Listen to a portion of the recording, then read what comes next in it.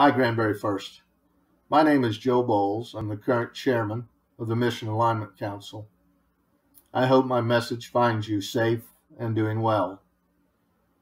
Doing well these days might mean you have plenty of hand sanitizer, plenty of paper towels, lots of tissue, and a good mask. Well, as we share in dealing with this virus and related issues, I also think, since you're watching this message, we also share in the love of Jesus Christ. My wife Susan and I have considered recently how do people deal with times like this, with uncertainty, without Jesus Christ in their lives?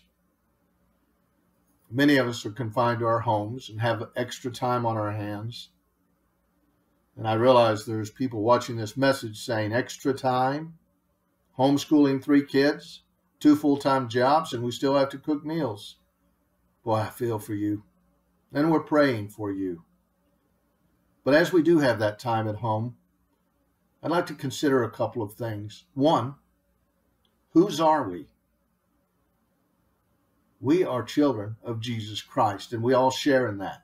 He will deliver us from all obstacles, too.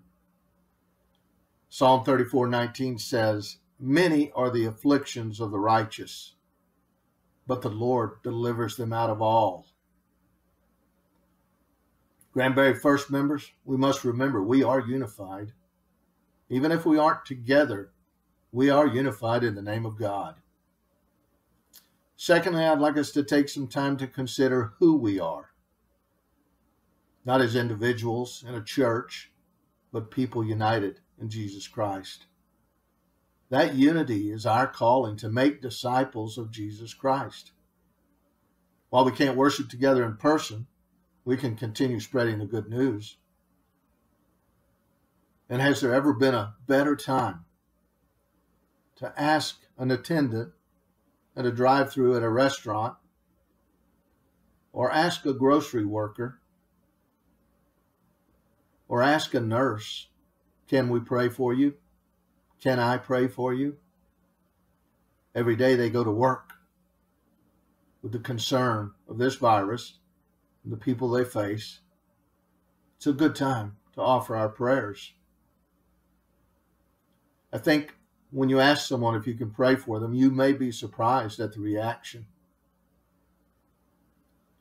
And I also think you may be surprised at the warmth you feel in your heart. We're all of Jesus Christ. We all are asked to be disciples. That's who we are. Prayer is a very powerful medicine. And we have the obligation to prescribe it to those who don't know Jesus Christ. That's who we are. I know soon we will congregate again in our church. In the meantime, I think we include the church, certainly its leaders, and all of its members in our prayers. Until then, we will stay unified and know whose we are, Jesus Christ, and know who we are, disciples of Jesus Christ. God bless us all.